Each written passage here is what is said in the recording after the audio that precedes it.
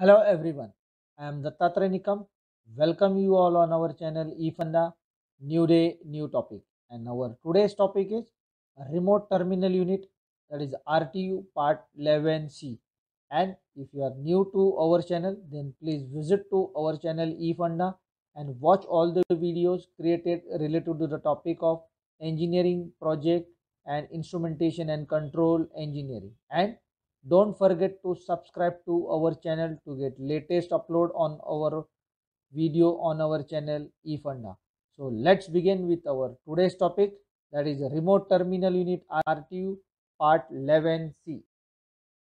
Introduction to remote terminal unit.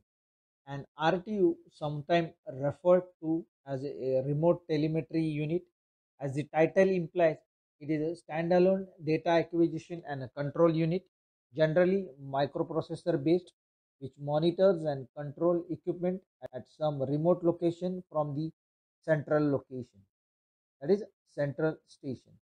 Rtus are used to convert electronic signal received from or required by field instrumentation into the communication protocol that is used to transmit the data over a network.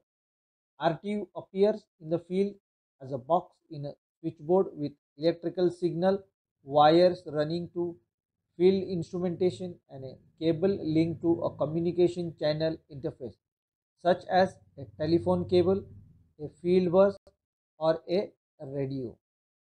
And RTU monitors the field digital and analog parameters and transmit data to a SCADA master station. It runs setup software to connect data input stream to data output stream, define communication protocols, and troubleshoot installation problem in the field.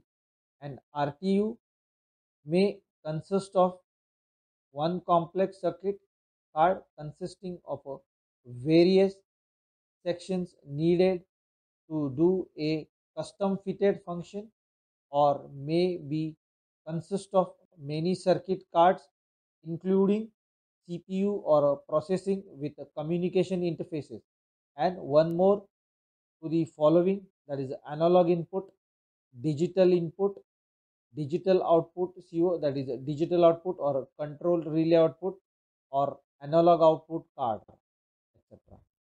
Small RTUs generally have fewer than 10 to 20 analog and a digital signal input Medium size RTUs have 100 digital and 30 to 40 analogs input signals and any RTU with more signal input than this is referred to as a large RTU. This is all about the introduction of the RTU. Moving on to architecture of a remote terminal unit. The typical RTU hardware module includes the following. For that, one has to refer the block diagram of the RTU system, one can see the RTU that is the main RTU and associated components are connected. That is a modem and RTU that is a radio receiver antenna. Similarly, optional output programmer station, programmable terminal or optional programmable logic controller connected to this. And central bus is connected with a power supply central processing unit volatile memory, non-volatile memory, analog input module, analog output module, digital input module, digital output. And these details we will see one by one. First, power supply.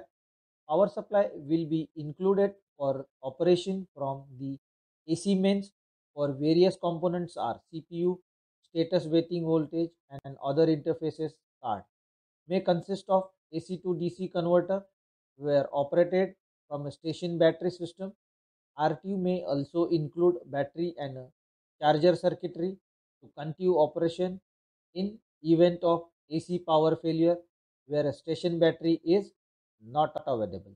Second one that is digital inputs.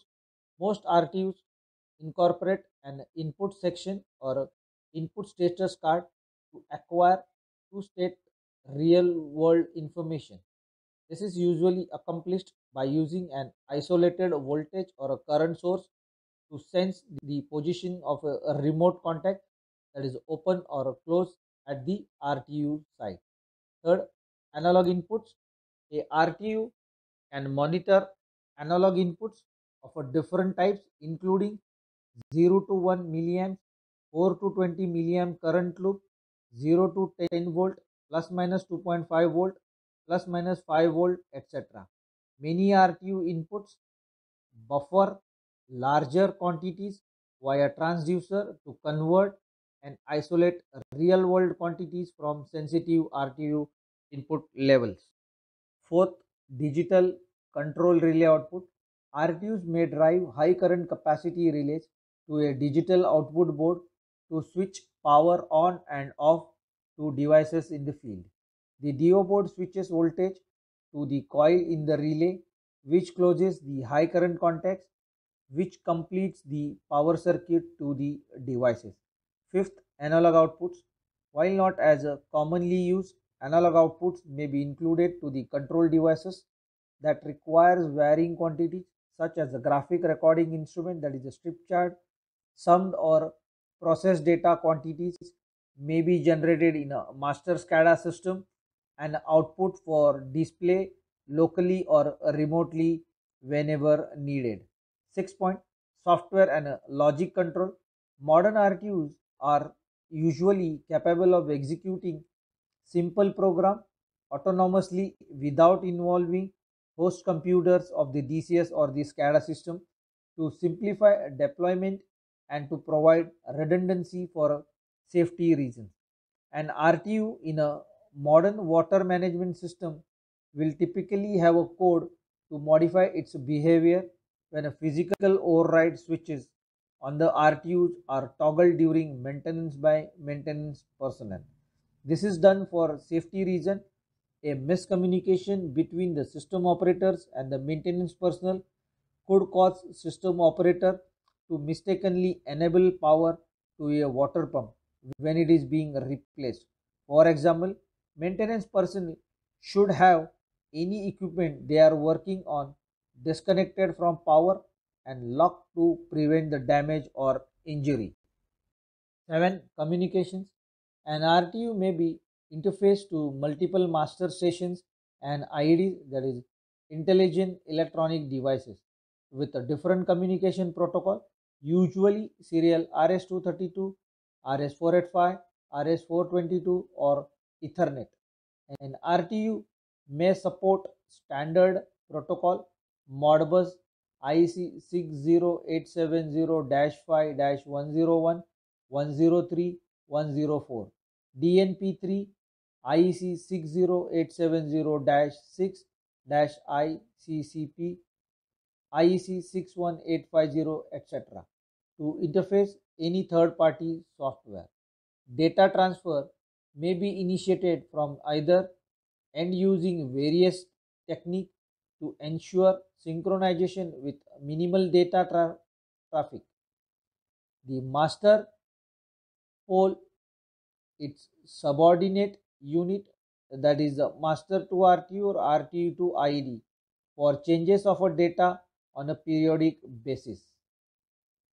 Master communication. Master communication usually occurs between an RTU and a larger control system or a data collection system incorporated into a larger system. Data may be moved using copper, fiber optic or radio frequency communication. Applications Remote monitoring of functions and instrumentation for oil and gas, offshore platform, onshore oil well, pump station on pipelines. Network of pump station, wastewater collection or for water supply environmental monitoring system that is pollution, air quality, emission monitoring, etc. Mine sites, air traffic equipment such as a navigation aid, DVOR, DME, ILS and GP. Remote monitoring and control function and instrumentation for hydrographic that is a water supply reservoir sewage systems electrical power transmission network and associated equipment, natural gas network and associated equipment, outdoor warning, sirens, and the Biosphere 2 project.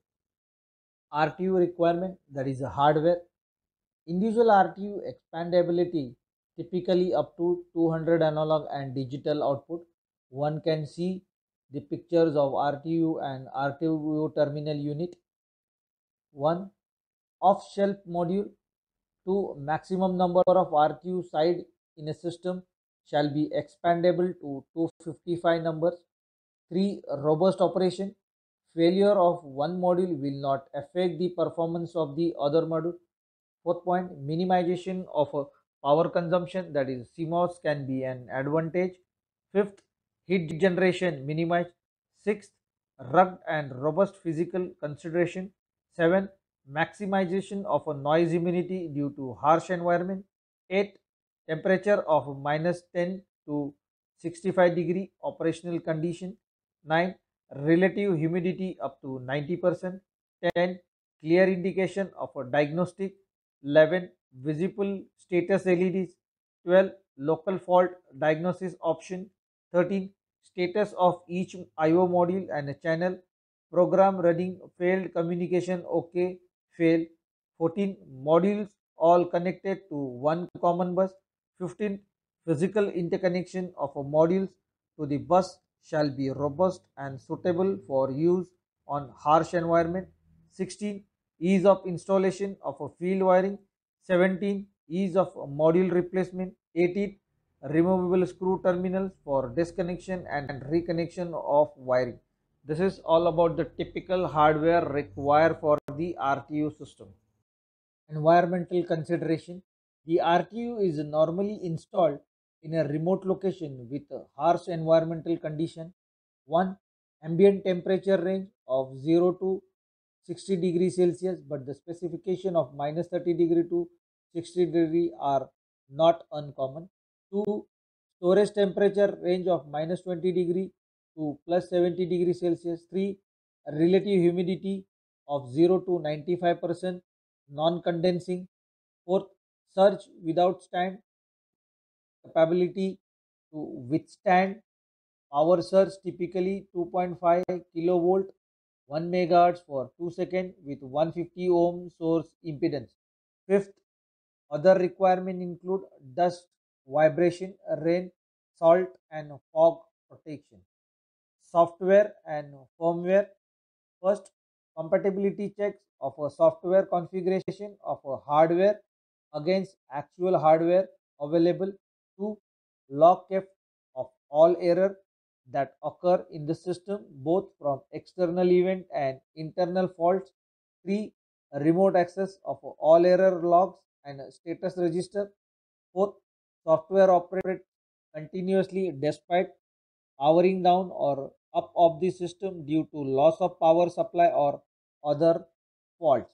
Fifth, hardware filtering provided on all analog input channels. Sixth, application program resides in on volatile memory that is a RAM configuration and diagnostic tools for system setup, hardware and software setup, error log, remote and local operation, application code development, management operation. So this is all about the RTU hardware requirement. So far in this video, we have seen introduction to RTU, architecture of RTU and their each part and hardware and a software requirement. Maybe this information is little difficult to understand as this its subject itself is a very critical and please watch the video completely try to correlate the parts with the block diagram and refer latest client specification about the RTU design and hardware requirement. With this, we are concluding on our today's topic that is RTU. With this, we are concluding on our today's topic and you can find our channel details as follows. If you are new to our channel, that is our YouTube channel eFunda, then subscribe to our channel eFunda and don't forget to press bell icon to get latest notification of upload of our new video on our channel eFunda. Similarly, you can follow us on Instagram page. Similarly, you can follow us on our Facebook page as well. And keep watching our channel eFunda for various topics related to engineering and a project. With this, we can assure you this will help you to better your understanding on engineering and a project topic. Keep watching our channel eFunda. Thanks. Watch our channel for new day, new topic.